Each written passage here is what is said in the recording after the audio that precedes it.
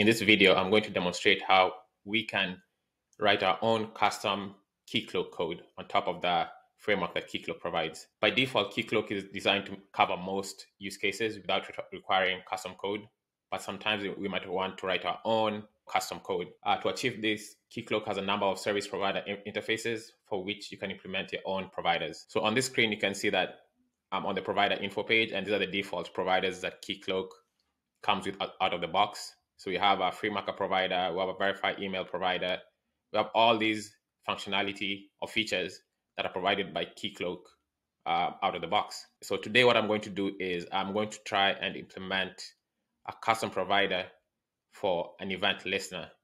And this is what I am looking for. This is what I'm going to be creating a service provider interface for. Now, what I want mine to do is that I want anytime a user is created, I want to um, print out or log that user's information in my log. Now, this is a feature that you can use to do other things that are more complex. Maybe you want uh, to send a payload to a different API every time a user is registered or a group is registered. So that's where some of this customization comes in handy. All right, so there are a couple of steps that we'll need to accomplish for all this to come together. The first thing is that we need to implement provider factory and provider interfaces. And then we also need to create a service configuration file. And then once that's done, we need to add the SPI to our Docker container because I'll be using uh, Docker for this demo. Then when that's done, uh, when you run Keycloak or start Keycloak up, we'll have to come into the admin console and then actually enable this custom SPI. And then from there, once you create a user, we should be able to see the, the user details getting logged in the Keycloak logs. Okay, so let's find those two interfaces in the Keycloak uh, documentation. So what I'm going to search for is event listener provider Keycloak. And here we have it. It's what I want to implement for the provider. And then I'll do the same, but for uh, factory. And here we go. This is the one I want to uh, implement. I already have uh, the skeleton of the provider and provider factory ready. So this is my provider. This is my factory. So let me just start from the factory and show you what I did.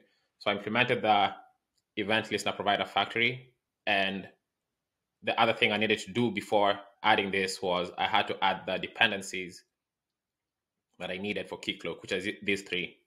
They're the ones that you'll need to implement. Well, these are the ones you'll need to implement the provider and provider factory. So once I added these in here, um, I was able to, I just came and refreshed my Gradle. Um, they popped up in my dependencies and I was able to reference them here. When that was done, I came and now created this provider and the provider factory.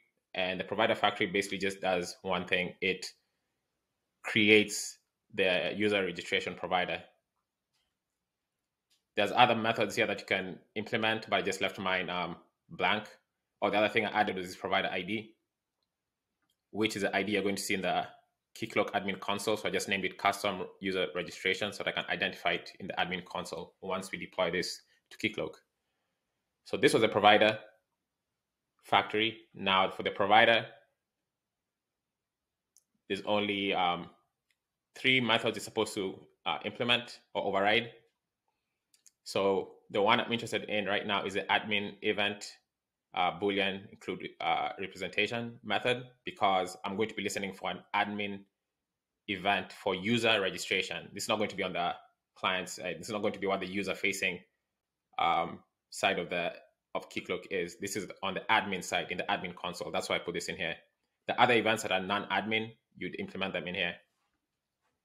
Now, I want to listen for user creation or user registration event. So what I did was I'm listening on this event and I want to check that is the event, first of all, a user event. And then in addition, is it a user creation event? That's why I got create. And the way I found these um, strings from was I came to the resource type and you can see a whole list of resources here and user was one of them. And then same thing for operation type, came to operation type and saw all the operations that are possible. So that's why I picked it, picked those two uh, strings. Now we need to just print something out to ensure that, or to verify that our admin event is being called.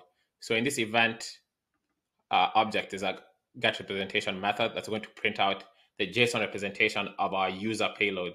So when a user creation happens, a JSON payload that's generated, and that's what I'm going to print out. It'll probably have things like the first name, last name, a lot of the details that you filled out in the Keycloak admin console. So I'll just do a quick log message, just that something like that, and I will call get representation. That's it. So now when we run this, um, or when this event listener is triggered, we should be able to see the details that in the representation. We also need to create a service configuration file. This file has a specific set of criteria it needs to meet. One, the folder name. The file must reside in a folder called services, which is a subfolder of the meta-inf folder. So here I'll go ahead and create the meta-inf folder, and then the subfolder is services. A note, I've put this in the resources uh, folder here. Since I'm using Spring Boot, everything that I put in this resources folder is going to be at the root of the class path. So we have to make sure that this meta-inf folder is at the root of the class path. That's why I put it in here. And here this appears as a dot, but it's actually a folder. So if I change the view here and come to resources, which is a folder. So this is just a result of the way I have uh, my project set up.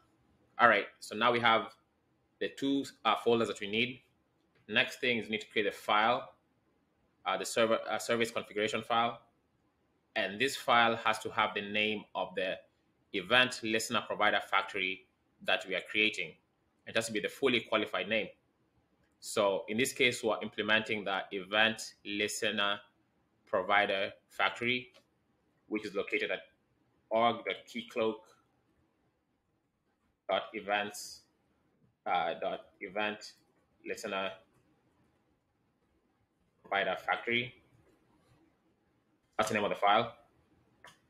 And then it, the contents of the file are the classes that implement this interface. In our case, our class is user registration provider factory. Again, this has to be the fully, fully qualified name. So if I come back here and type in com, and you have an um, autocomplete, so I'll just type that. And that's it. So now we have this, and this is what ties in everything in the SPI. Let's go ahead and build the jar itself. So I'm just going to run Gradle in build.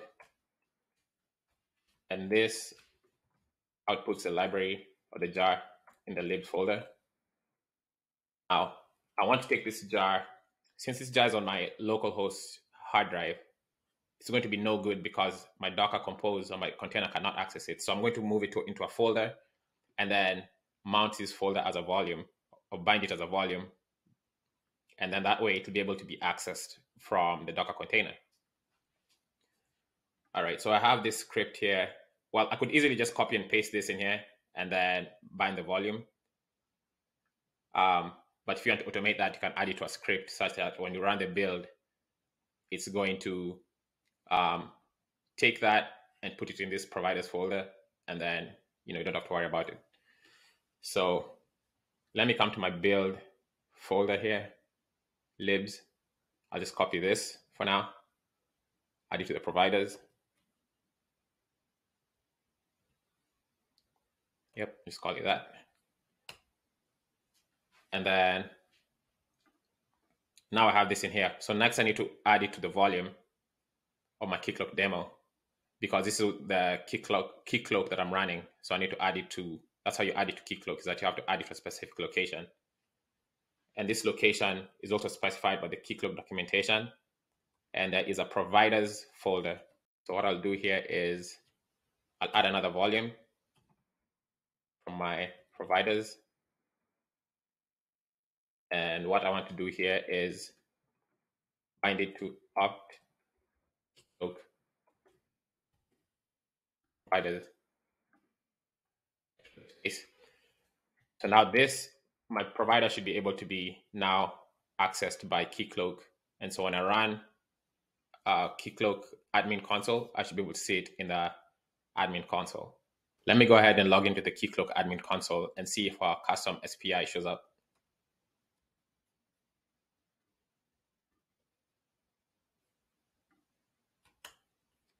So I was logged out. So let me just log back in.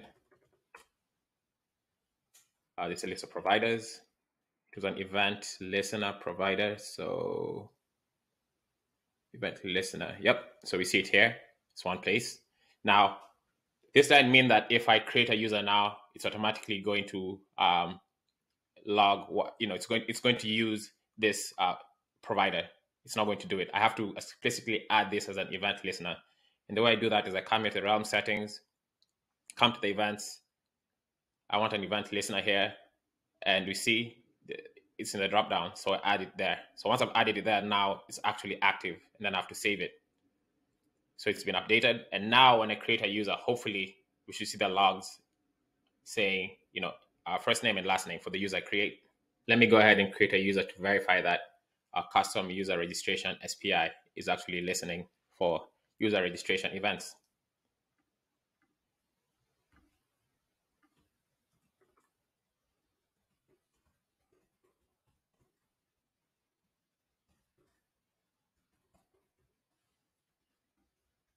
Okay. Okay. Now let's check the Keycloak logs to see if our representation has been logged.